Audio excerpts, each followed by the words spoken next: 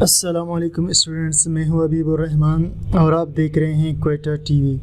Students solutions and colloids میں lecture three کو discuss کریں گے اور اس لیکچر میں ہم نے ڈسکس کرنا ہے پراپرٹیز آف سولوشنز تو چلیے جی اسٹارٹ کرتے ہیں۔ A solution has at least two components کسی بھی سولوشن کے اندر کم سے کم دو کمپوننٹس ہوتے ہیں، دو اجزاء۔ ہوتے ہیں۔ اسولوینٹ اینڈ اسولیوٹ تو ایک اس میں سولوینٹ ہوتا ہے، ٹھیک، جو زیادہ مقدار کے اندر موجود ہوتا ہے۔ جیسے مثال کے طور پر اگر پانی سولوینٹ ہو اور دوسرا اس میں سولیوٹ ہوتا ہے جو کم مقدار کے اندر ہوتا ہے، فرض کریں ہم اس میں نمک ڈال دیتے ہیں، تھوڑی مقدار میں حل کرتے ہیں۔ It may have more than two components اور ہو سکتا ہے اس میں دو سے زیادہ اجزاء ہوں یعنی ایک اس کا سولوینٹ ہو اور دو یا زیادہ سولیوٹس اس میں موجود ہو۔ یعنی اسی پانی کے اندر جس میں آپ نے تھوڑا سا نمک حل کیا ہے، اسی پانی کے اندر آپ تھوڑا سا چینی بھی حل کر سکتے ہیں، تو سولیوٹ دو دو سے زیادہ بھی ہو سکتے ہیں۔ Number two a solution does not have fixed composition solution نہیں رکھتا فکس کمپوزیشن کمپوزیشن کہتے ہیں بناوٹ کو، اس کی بناوٹ فکس نہیں ہوتی۔ کیا مطلب ہوا؟ دیٹ از یعنی کہ the ratio of solute can different from solvent ratio جو تناسب ہے، جو نسبت ہے سولیوٹ کا وہ مختلف ہو سکتا ہے سولوینٹ سے۔ اب اس کا کیا مطلب ہوا اسٹوڈنٹس اس کا مطلب یہ ہوا کہ فرض کرے ہم نے ایک سولوینٹ لیا جو کہ پانی ہے اور لیٹ سے یہ پانچ سو ایم ایل ہے، ٹھیک؟ اب اس کے اندر ہم چینی جو حل کریں گے، وہ ہم اس کے اندر ایک گرام بھی حل کر سکتے ہیں۔ دو گرام بھی حل کر سکتے ہیں، تین گرام بھی حل کر سکتے ہیں۔ تو ان دونوں کا کمپوزیشن سیم ہونا کوئی ضروری نہیں ہوتا۔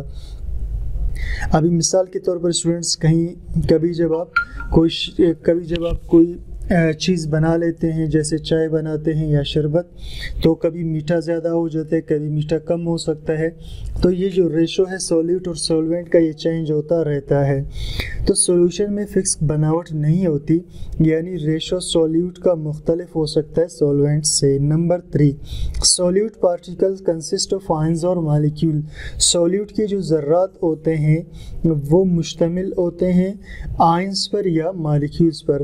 آئنس کہتے ہیں ایسے ایٹمس کو جن پر چارج ہو۔ ٹھیک؟ اور مالیکیولز مالیکیولز کو کہتے ہیں۔ یعنی جب بھی ہم کسی سولوینٹ کے اندر، جیسے لیٹ سے یہ پانی سولوینٹ ہے، اور اس کے اندر ہم کوئی سولیوٹ ڈالتے ہیں، تو سولیوٹ اس میں گر کر کے چارجز میں کنورٹ ہو جاتا ہے۔ اور یہ چارجز کو پھر پانی اپنے یعنی چارجز کے ذریعے سے اٹریکٹ کر کے ڈیزولو کرتا ہے۔ اس کے بعد پوائنٹ فور ہے سولوشنز میں بھی کلر لیس یہ بے رنگ ہو سکتے ہیں کلرڈ رنگین ہو سکتے ہیں اینڈ آر یوزولی ٹرانسپیرنٹ اور عام طور پر سولوشنز شفاف ہوتے ہیں۔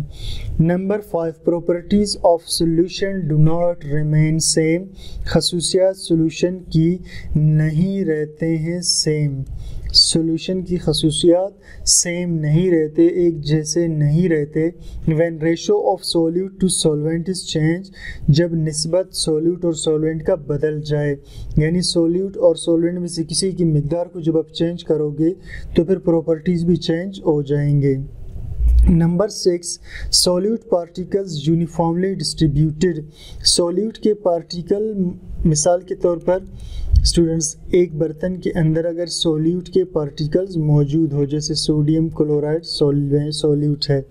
Solute particles uniformly distributed solute کے پارٹیکلز یکساں یا برابر ڈسٹریبیوٹ تقسیم ہو جاتے ہیں ان دی ہول سولوشن سارے سولوشن میں۔ پورے سولوشن میں یہ ایک جیسا ایک جیسے بکر جاتے ہیں۔ And the solution is homogeneous اور سولوشن یک جنس بن جاتا ہے۔ یک جنس کا مطلب یہ ہے اسٹوڈنٹس یعنی آپ جب شروع میں چینی کو پانی میں ڈالتے ہو تو چینی الگ نظر آتا ہے، پانی الگ۔ لیکن جب ان کو اچھی طرح مکس کر دیتے ہیں تو پھر صرف پانی نظر آتا ہے، چینی نظر نہیں آتا۔ اسے کہتے ہیں یک جنس، ایک جسم والا۔ And the solution is homogeneous throughout اور سولوشن ہوموجینس ہوتا ہے پورے کا پورا. Solute particles do not settle out after time solute کے ذرات ڈو ناٹ سیٹل آؤٹ باہر نہیں نکلتے۔ یعنی ایسا نہیں ہوتا کہ کچھ عرصے کے بعد سولیوٹ کے پارٹیکلز نیچے بیٹھ جائیں۔ تو سولیوٹ پارٹیکلز باہر نہیں آتے وقت کے ساتھ۔ Solute can be separated from solvent اور سولیوٹ کو ہم حلق کر سکتے ہیں سولوینٹ سے۔ بائی فزیکل ٹیکنیکس عام طریقوں سے فزیکل ٹیکنیک سے سچ ایز ایویپوریشن جیسے ایویپوریٹ کر کے یا ڈسٹیلیشن اب ایویپوریٹ کے کیا مطلب ہے اسٹوڈنٹس مثال کے طور پر ایک برتن میں پانی کے اندر حل کیا ہوا تھا، ہم نے نمک کو N A C L sodium chloride کو، پھر کیا کیا؟ ہم نے اس کو الگ کرنے کے لیے ہیٹ کرنا شروع کر دیا۔ تو وقت کے ساتھ ساتھ ہیٹ ہوتے ہوتے پانی کے جو ویپرز ہیں وہ اڑتے چلے جائیں گے۔ پانی کے ویپرز اڑتے چلے جائیں گے اور آہستہ آہستہ پانی سارا اڑ جائے گا اور نیچے صرف این اے سی ایل کے مالیکیولز یا این اے سی ایل کے فارمولا یونٹس بچ جائیں گے۔ تو اس طرح ہم اسے ویپوریشن کر کے بھی الگ کر سکتے ہیں۔ اسی طرح ڈسٹیلیشن کر کے بھی ہم انہیں الگ کر سکتے ہیں۔ اب ڈسٹیلیشن بھی اسی طرح کا پروسیس ہے جیسا کہ ایویپوریشن ہوتا ہے اسٹوڈنٹسٹک لیکن یہاں سب قسم یہاں دو چیزوں کو الگ کر کے اس کو خالص کرنا مقصد ہوتا ہے۔ تو اسٹوڈنٹس یہ تھا آج کا ہمارا لیکچر جس میں ہم نے پراپرٹیز آف سولوشنس کو ڈسکس کیا۔ امید کرتا ہوں آپ کو لیکچر سمجھ میں آ گیا ہے۔ کوئی چیز کلیئر نہ ہو کمنٹ سیکشن میں ضرور بتا دیجیے اور چینل کو سبسکرائب لائک شیئر کیجیے تھینک یو فار واچنگ